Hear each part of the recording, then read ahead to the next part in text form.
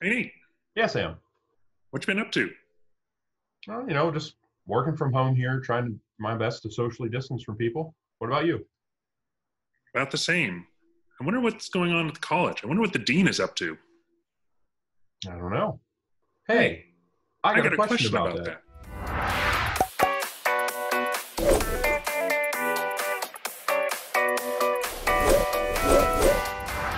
Welcome to another episode of Hey, I got a question about that. I'm Sam. I'm Nate, and this is a podcast and video series where we talk about all the fascinating research going on here at Penn State Eberly College of Science.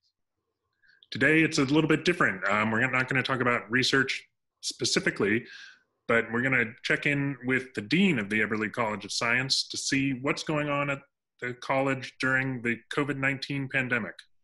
Yeah, let's check it out. We are joined via Zoom by Doug Cavener. He's the Verne M. Verne M. Willaman Dean of the Eberly College of Science, and we wanted to ask him about what was going on in the college during uh, the COVID 19 pandemic here. Thanks for joining us, Doug. Great, great to be here with you guys. Uh, maybe first of all, you can talk about your experience. Um, how has it been working from home so far? Um, so it's actually been quite uh, fine with me and doing lots of Zoom meetings, uh, and um, I, you know, I think I'm sort of in a fortunate situation, which not everyone's in, but uh, I uh, I like to garden, and so uh, it's springtime, and so in be- five minutes in between Zoom, I can run out and do something quickly if I need to. Uh, my daughter is home from Northwestern, and she's taking her her last uh, quarter of the academic year uh, remotely. So she's around, uh, but she's great fun, and it's terrific to have uh, her here. I, I do feel very sympathetic to, we have lots of our faculty and staff uh, and some of our graduate students who have, who have uh, small children at home. And that's much more challenging for them. So I really kind of feel for, for those individuals who are trying to, you know, continue to do their work remotely uh, while they're dealing with some very needy kids uh, running around in the background. Uh, but for myself, I'm, you know, this is actually uh, is is fine. I'm um, still very much engaged, uh, uh, working more than ever. There's just uh, it's everything then plus all of the complications and planning Mhm. because of the pandemic. Um, so, you know, as the dean of the college, what are some of the things that you can't do now that you're working from home? So for myself, there's really not uh, much that I can't do um, in terms of just you know performing uh, my my normal duties and functions. I can do this all all remotely because of much of my job, of course, is is dealing with in meetings and uh, responding to emails, and I can do that all uh, remotely. Um, I, you know, there are things that I, you know, very much miss. Uh, you know, having that interaction and being on campus and feeling the buzz with the students around. And of course, this is the time of year too where uh, we're in the graduation uh, commencement week, and this is normally a time when we have we have uh, various volunteer boards that are coming back. We have various um, celebrations and recognitions of our students.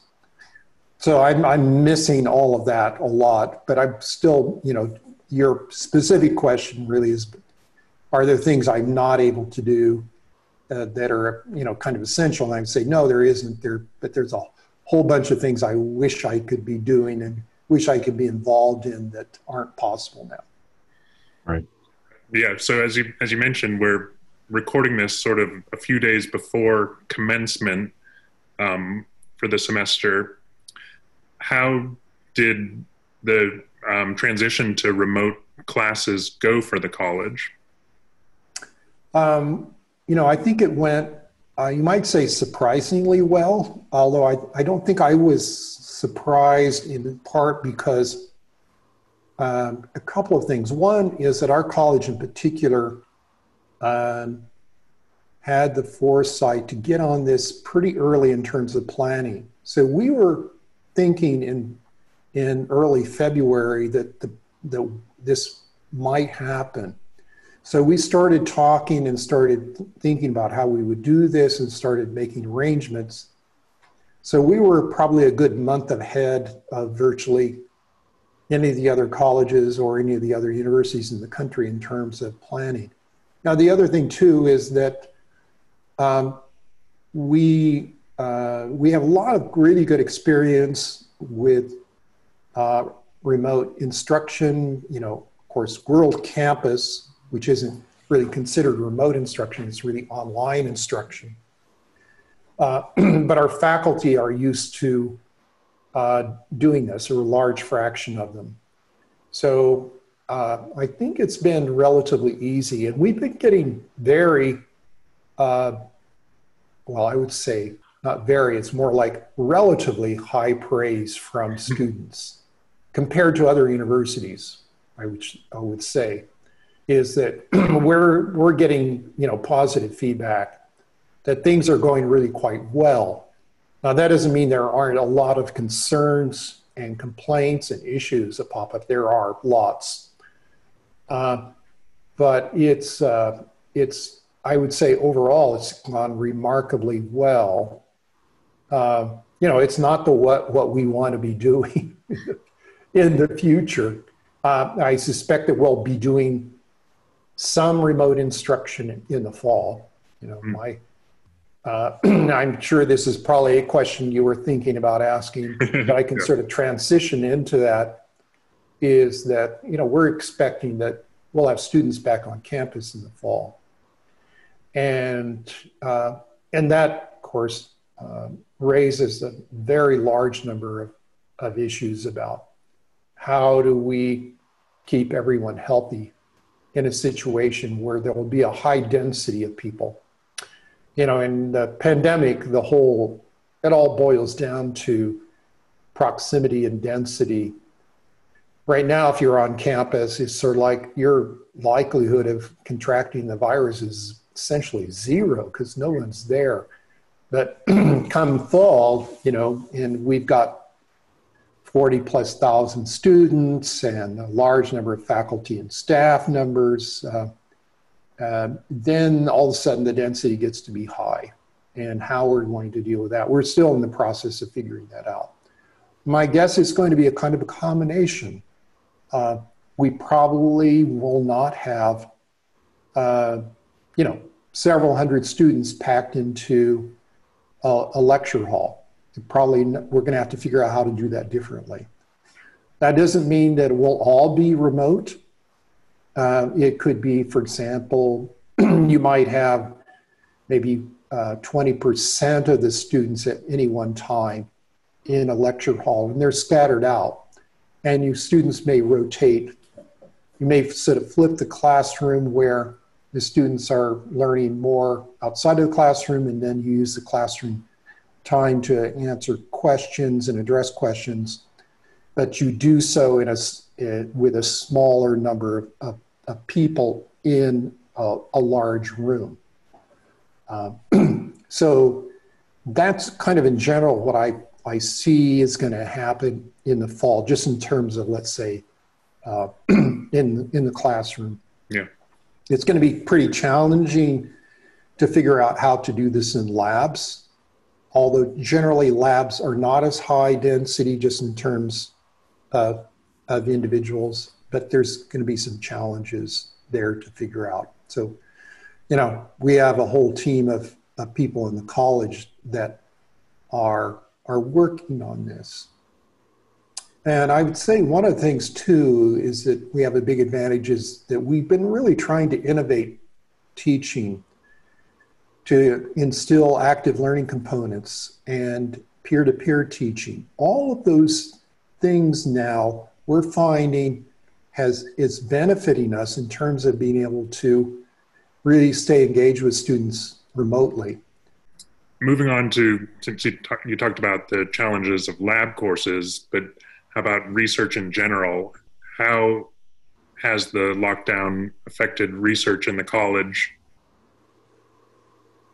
Yes. So for research, um, with the governor's orders on, I think, uh, went into place in March 24th, then essentially all uh, research stopped on campus except for what was deemed as essential research. Uh, and essential research uh, included things that what might seem obvious that is people are working on the pandemic or on the, on the virus but it also included people who were uh, uh, performing research that if they were to stop that research could lead to uh, a substantial loss in data and resources.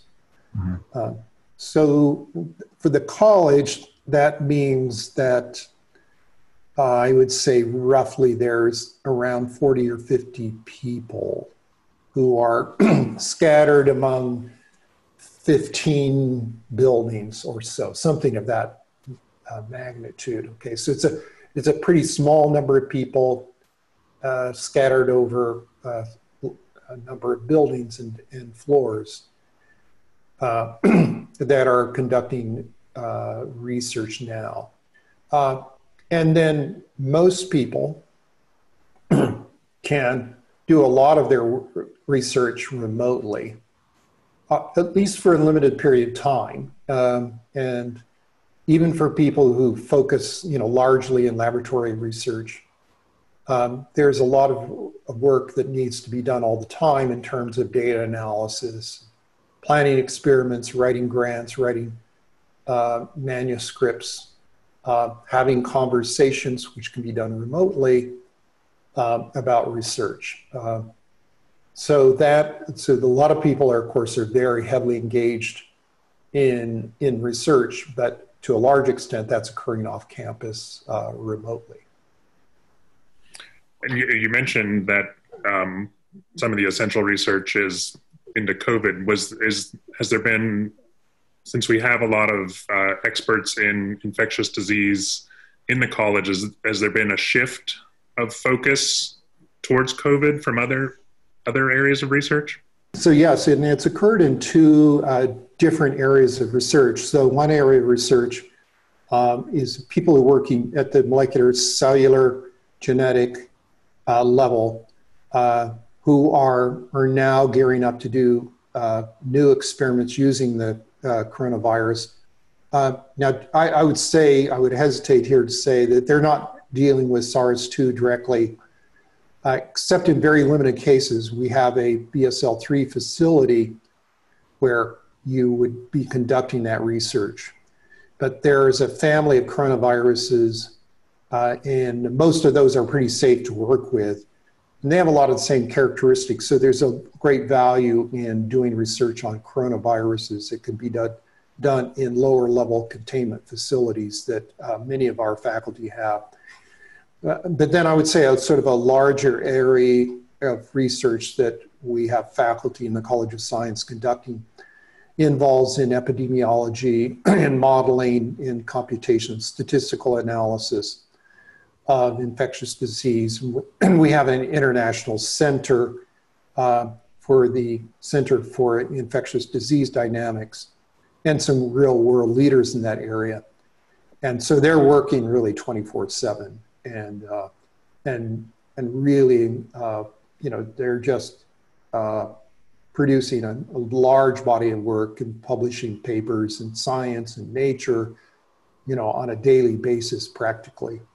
So they're very heavily engaged. And then I would say also that um, this is a little bit off from your question, but um, also, uh, particularly Matt Ferrari, uh, who's in the Department of Biology and part of the Center for Infectious Disease Dynamics, is also providing a lot of expertise and advice to the university in terms of uh, giving advice about how to uh, set up systems and policies and public health policies to uh, mitigate the spread of the virus uh, and just also provide you know a good education uh, and continual updates on on the perspectives about about the pandemic. Uh, so we have a lot going on in that area right now. How do you think this period where there's been you know reduced activity on campus will affect faculty and students moving forward? Yeah, it's it's a really good question, and it's one that I'm you know greatly concerned about. Uh, you know, it's there's no denying, of course, to a large extent, it's it's going to have a negative impact, and of course, we want to try to renew, reduce the what those negative impacts are. And so, you know, we've already taken steps, for example, uh, for students, faculty, uh, about progress through, let's say, for promotion and tenure. So, for example, people who are pre tenure or on the tenure track are going to be there, they can have an extra year uh, on the on the clock until they have to be reviewed for tenure. Uh, they can opt in for that if, if they're choosing. Uh, we're doing a lot to try to mitigate, you know, uh, negative impacts on our graduate students and undergraduate students in terms of, you know, time to degree. So um, there are quite a few potential, you know, negative impacts, and we're, you know, looking at all of them and trying our best to try to mitigate those you know the financial aspects too of this to to um, to everyone, but you know we're particularly concerned uh, about uh, you know first of all about our students and uh, financial aid that they need, and so fortunately, uh, a number of people have stepped up to provide funding. Uh, some of the leadership in the university, including myself, are giving 10% of their salary into funds for emergency funds to help people who have particularly needs that have been uh, worsened by the by the pandemic. Uh, so it's you know it's that's though all those things are uh, ones that I probably spend a good half of my day on working on and discussing and working with others in the universities to to uh, really uh, mitigate uh, the you know the negative impacts it's having on on on all of us uh, across the university. But I you know I quite now I see them quite manageable. I think that um, you know we're there's going to be some financial stress. University it's going to reduce our budgets, um, but our I think they're at levels that we'll probably be able to handle and we'll be able to continue to, to do our best to give, you know, great education to our students and to keep, keep our research going at a very high level and having a positive impact on society and the world. Do you see this having any, you know, long-term effects on students academically? So the immediate concerns about uh, for students who are graduating right now is like, can they get a job? Uh, and when businesses and various things are shut down, so that, that's kind of an immediate impact on on those individuals. There's going to be, of course, there's going to be some opportunities too, and I think that's that's going to be really important. And I hopefully we can prepare our students um, to take advantage of new opportunities.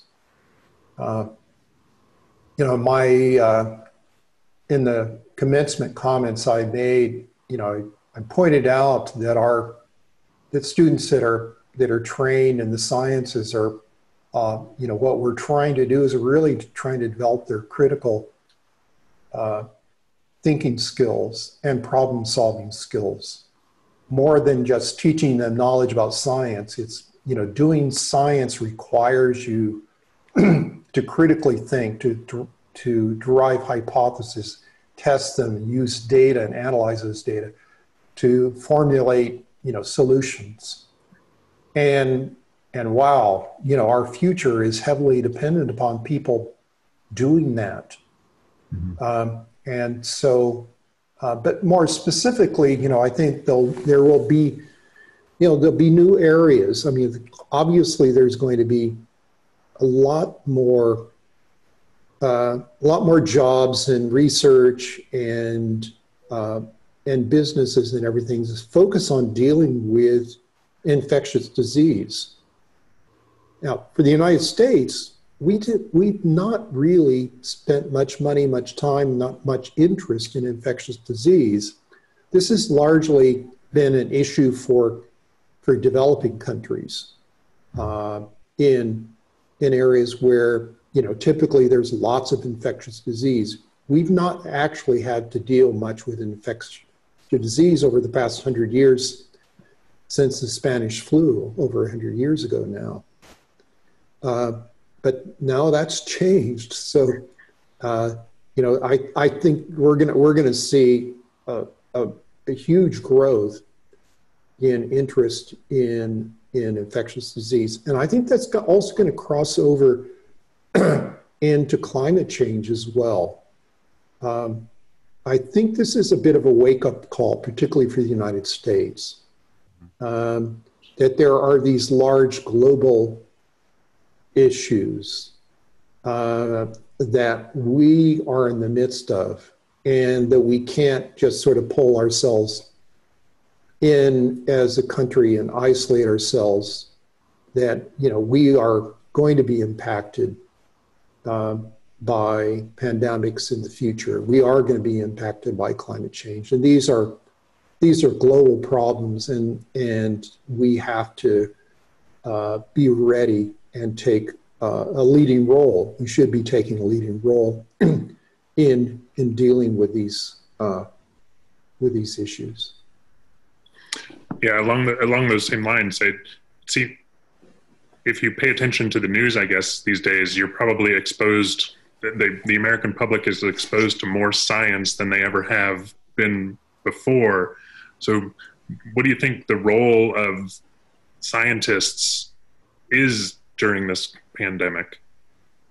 Yeah, that's a really, really good point. Is that people are now uh, exposed to science, and you know, before I think the public could could say, "Well, we don't really care about science," and you know, there's been sort of an anti-science movement, I would say, over the past 20 years of people just kind of skeptical about science. Um, but now all of a sudden, people realize that uh, you know politicians don't have answers to uh, these questions about the pandemic. Uh, scientists do, um, and so you know you see people like Anthony Fauci all of a sudden becoming really a essential focus in the United States. You know, somebody who very few people knew outside of academia. Uh, by the way, he was uh, he was our College of Science commencement speaker a few years ago, uh, and I had the pleasure of meeting him, having dinner with him, and uh, and he uh, interestingly just kind of foretelling in some sense. One of the things he talked about at, at length, and I was really kind of pleased to hear this. Um, is he talked about his his work with with uh, President George Bush on on AIDS, and uh, you know, and Tony Fauci has been involved working with a number of presidents over the years. He talks passionately about uh, about that work, uh, and you know, now kind of looking back on that, I can really see, you know, here's here's someone who is uh, you know, trained as a hardcore scientist, uh, but has developed over time a, a really good, uh, I would say, he's a great communicator. I would say he's not a great speaker in a technical sense, but he's very effective at communicating, and that people have a, a, a sense of trust in what he says um, and uh, he, and I think it's just it's it's because he's knowledgeable, but he's thoughtful, um, and um, you know he's he's willing to you know say things as they are in, in a very honest way. and you know that's kind of what I'm hoping that we're training in the college science is that people who would not only have that sort of expertise in, in science, but also have, have the ability to communicate and, uh, and therefore, in doing so, impact public policy for the good. Just, I guess, shifting gears here, are, are there other aspects of the college that are being particularly impacted? Um, like thinking about recruiting or alumni relations, fundraising. Um, mm-hmm. Yeah, so that's. I'm. Uh, I guess I'll just pick pick one that's. I think there's a lot of interest. You'll you'll see lots and lots of um, articles and opinions given about what are students going to do. Uh, graduating college, I'm graduating high school students. Are they going to actually uh, start college, or are they going to take a gap year? Are they going to, uh, instead of going away to college in another state, are they going to stay home? And there's lots of uh, things in the news these days about this. That's really quite interesting. Uh, you know, just from society, of course, it's going to potentially impact us. Uh, in that, I, I, would say right now, we really don't know how this is going to fall out.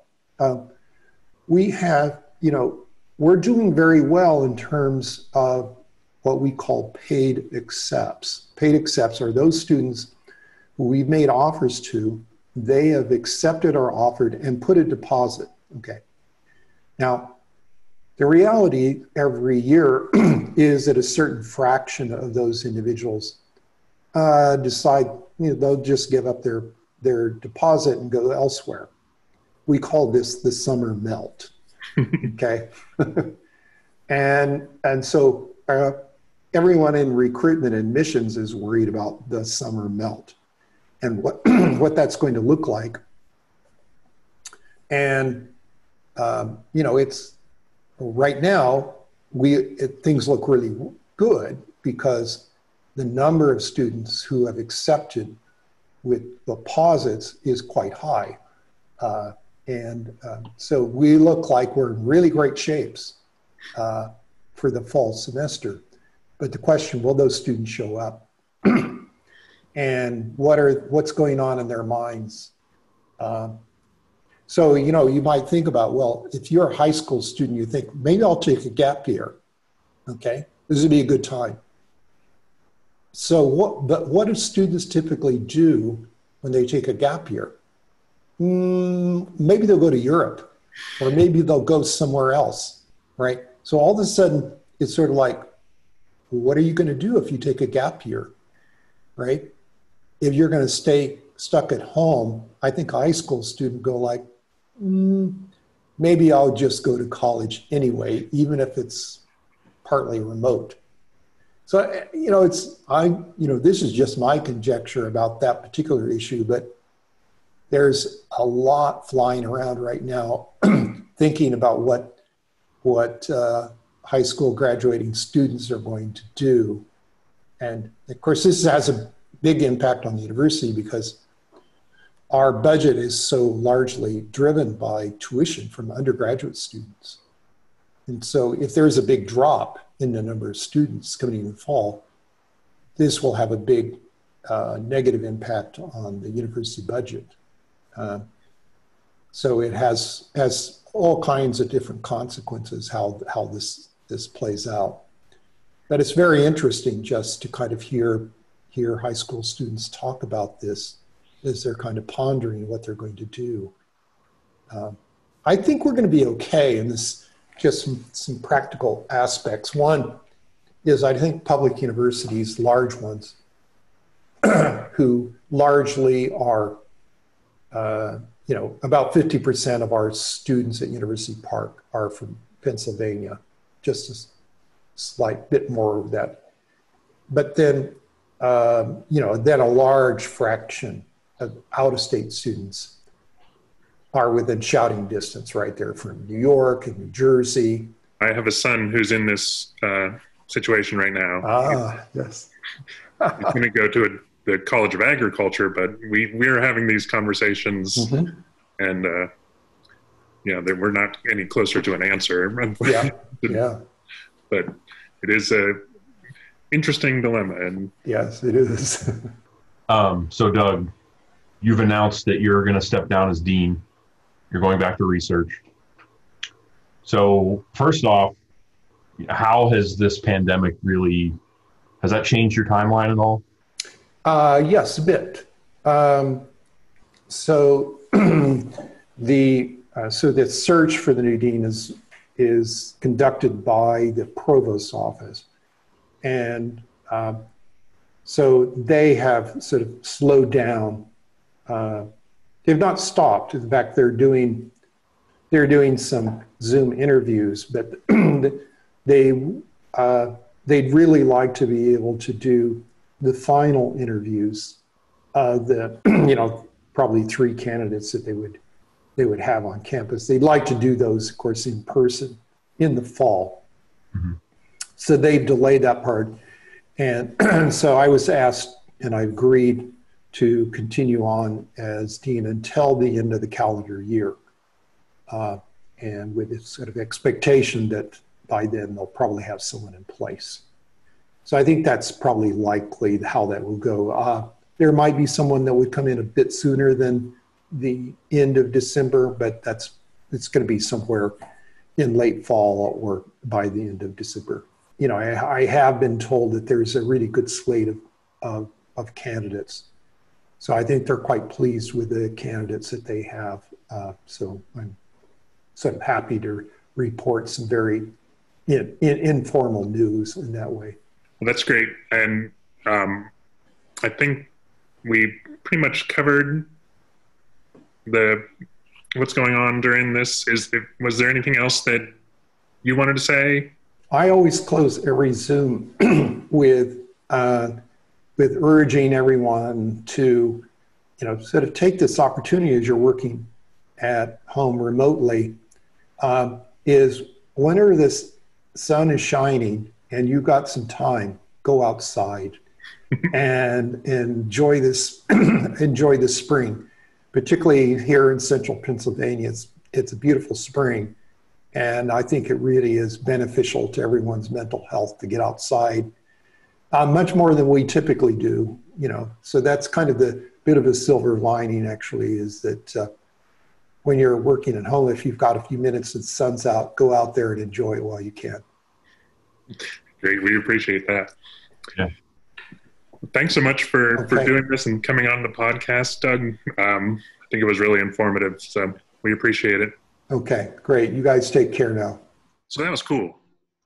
Yeah, it was really cool to hear. You know, Doug is working from home just like we are, and can still run the college from home. Right. And it was good to hear that even though things aren't perfect, that classes have continued, students are graduating, and research continues. So if you want to learn more about what the college is doing during the COVID-19 pandemic, we will have links in the show notes below. And if you'd like to find out how you could help support Penn State's COVID-19 response, we'll have links to that as well. So thanks for joining us on another episode of Hey, I Got a Question About That. Uh, if you haven't already, please go back and check out our past episodes. You can find us on YouTube and wherever you get your podcasts. And be sure to like, subscribe, and leave a comment. Yeah, thanks. Bye. Yeah, we got to put the dog in, in the intro. This is my last one. Sorry. Our haze didn't match up. Yeah. So I ruined it. I don't know how we're going to make that work. So stupid. It's a special episode. Be like Doug. I don't know what I'm going to say, but. Neither do I. But, but that's how we learn. That's right. It didn't feel right the minute it came out of my mouth. It's amazing how many people are my former neighbors. But also, if you would like to learn about Oh, I keep stumbling on that one. There's too there's too many words. I have um, nothing to do with my face at the end, or if I should say something. Just say bye. Goodbye.